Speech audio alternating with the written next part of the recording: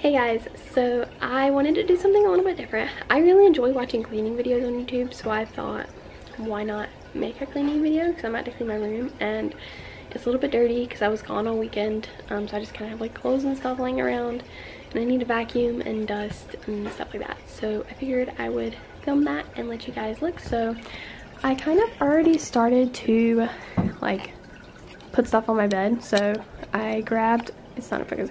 I grabbed like all my clothes, everything that was on the ground, put that on my bed. I didn't make my bed this morning, sorry about that. I've got like some random stuff. Um, got clothes that I need to fold there. I've got just like books and stuff and just stuff kind of like everywhere. So yeah, here's my little before. And then I am just gonna set you guys up over here by my closet and you guys can just chill out and I'm just gonna speed this up and let you guys watch it. I hope you enjoy it. Um, I know this isn't gonna be like everyone's cup of tea, but I liked watching these videos, so yeah, hope you enjoy.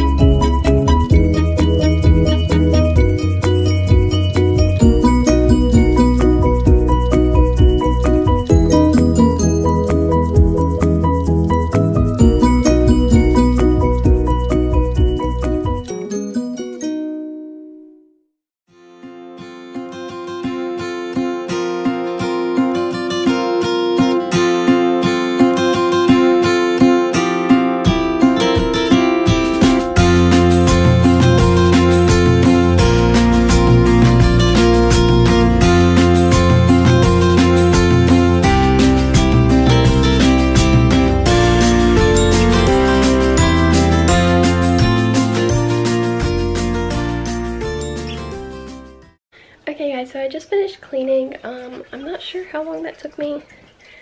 Probably like less than an hour, I'm guessing, to do all that. Um, but yeah, I vacuumed, cleaned up everything, dusted. I should have dusted before I vacuumed. I didn't think of it. Um, and I didn't do like a super deep dusting because I just did that.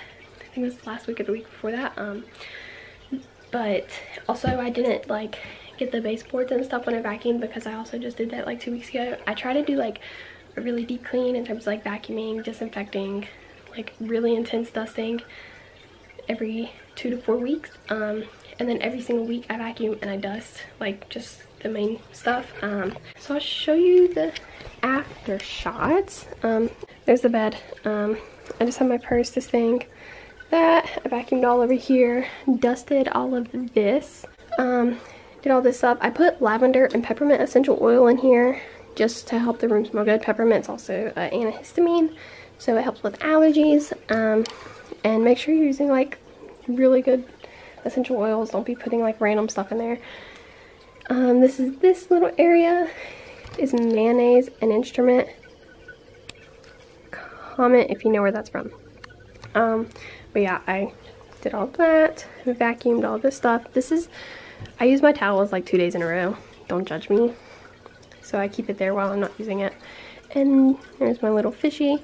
But yeah, that's pretty much it. I am like a huge cleaner, so I clean frequently. I have a lot of really good cleaning tips. So if you ever like want to see a video of me like telling you cleaning tips, ways to clean like really good, or even like how to like clean like because a lot of people can't do all of what I just did like at one time like they have to take it step by step um but like I don't know, I guess I just enjoy it. Also, I know that I have to do it or else I'm gonna get really sick. But I do kind of do some things throughout my like process that make it a lot more bearable. Um, so yeah, if you'd like to see that, just let me know. I really hope you guys enjoyed the video. Hopefully it turns out good. Hopefully you like watching it. But I'll see you in my next one. Bye!